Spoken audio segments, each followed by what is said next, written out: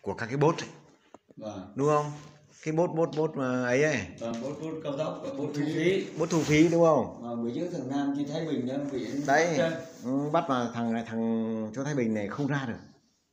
Mà mỗi cái cái, cái, cái chỗ bốt à, ở ở chỗ bắc ninh mà giáp phá lại có mỗi cái chuyện vớ vẩn vậy thôi mà vi phạm vào đúng luật của nó là nó nó tù còn chính xác cái thằng mà nó đại biểu quốc hội nó người ngày hậu đây này Vâng. nó về đây nó nó bầu cử là nó cho bao nhiêu dân dân đây biết hết mà.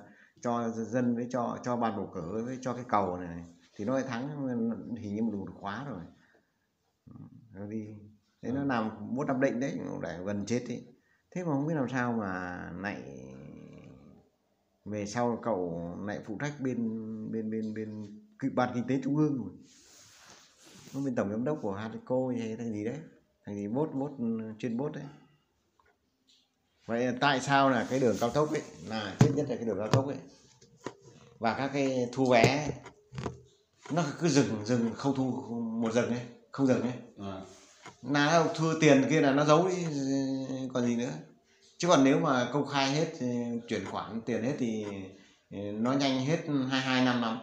Mười mấy năm đã hết rồi 10 năm đã hết khoản vốn rồi. Vâng. đấy cái bài của nó đã lần khẩn như vậy nhưng mà em bảo bây giờ, nếu mà khai khống dự án nên hợp thức hóa đơn thì thì đáng như thu 5 năm nó thu 10 năm, thêm 10 năm nữa thì anh bảo với nữa ai kiểm chứng cho anh? Ví dụ đường khai khống dự toán lên. Thì đấy, đã bảo rồi, cái đường cao tốc Việt Nam ấy, để nó chết cái là nó cứ gấp rưỡi thằng thằng ví dụ nước như ngoài trời làm cái nghe cái cái cái đường đi hết có 100 tỷ mà trời nó làm dự toán lên 200 tỷ nó nào ăn 50 phần trăm trong đó trong cái đó lại phải tính khấu hao lại chịu lên cái thời gian không đấy đấy đấy nữa. đấy Đấy, em nói cái đó mới là cái quan trọng chứ. Cái việc mà thủ tướng eh, ra lệnh nọ lệnh kia quốc hội ra lệnh nọ lệnh kia mà nó chả chấp hành đúng không? Mà vẫn cứ để làm bộ trưởng giao thông. Cũng thể đấy. Vâng. Ra lúc năm nọ năm kia không khác gì cái đường đường đường ờ, đường sắt ờ, cát linh hà đông đúng không? Cứ vâng nổi nổi nổi nổi. Cái việc công nghệ thông tin ấy, thằng Viettel nó nằm một nhát thì là hết cả toàn quốc luôn bởi vì tất nhiên thì mấy ông vào cũng được thôi nhưng mà cuối cùng là mình công nghệ mình tốt nó có gì đâu mà thu phí không dừng là, là bình thường ấy. Mà nom ờ, cái barrier của nó cũng chú làm chắc mấy trăm nghìn chứ đâu có phải mà nó mà Nam Định nó kiện là 2 tỷ bao nhiêu đấy. Hai một vâng tỷ đấy cái barrier ấy. Nhà cơ khí ta nhìn ra hết mà nhưng mà lại chẳng làm gì được. Không biết nó cái toán kiểu gì người toán được phải giỏi.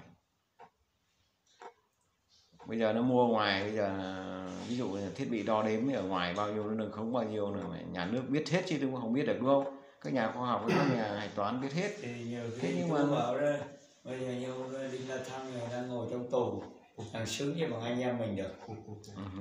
Ờ, tiền nhiều để làm gì? Nhưng trọng nó nhà rồi xe rồi tiền tiêu cả đời ông hết rồi. Mà cứ còn tham mà cứ còn tham nói rất tình cảm. Nói thật đấy bác mà nói có từ đấy nhà này không ai ở. Đấy trên đây một cái phòng phòng sách mai bác nên xét là toàn đạo đức làm người của ông thích thục nào mà xây mà đóng để cho mình đi không bao giờ về đấy đi xuất ra bao giờ về đấy. Là những cái ô này là để sách là toàn gỗ nim treo bốn chục anh một cái gian nhà như vậy để chả ai đọc. Mình đi rồi làm gì còn ai đến đây nữa. Vậy nhưng mà bỏ đi hết đã đi là bỏ. Nó thật nó anh không đi nữa. tiền cũng vậy anh ạ tỷ đồng bỏ ra vậy thôi không, chờ anh đừng có đi nữa. Không. Làm gì chú bảo ấy, bây giờ em nói thật đó con đường bây giờ cho trăm tỷ đổi ta không bao giờ ta đổi được. Không đổi được mà cũng không không bao giờ không đổi được. Mình có đổi không đổi được? Là vì này bây giờ các ông tập vào độc ăn một bữa mà trên núi xuống xin ăn nách thách như vậy đố các ông làm được. Hai là đêm ngủ hai giờ dậy đố dậy không dậy được. Nó phải có một cái quá trình rèn luyện cũng như kiểu bộ đội trường sơn đấy. Ngày xưa nó phải rèn luyện như vậy mới được. Chứ không phải là tự nhiên vào làm đâu nên là khó mà hơn nữa đã vào rồi thì thì- chán lắm.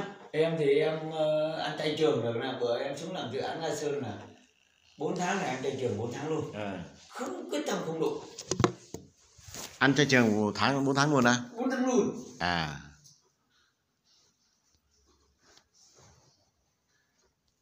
Làm hơn 5 tháng mà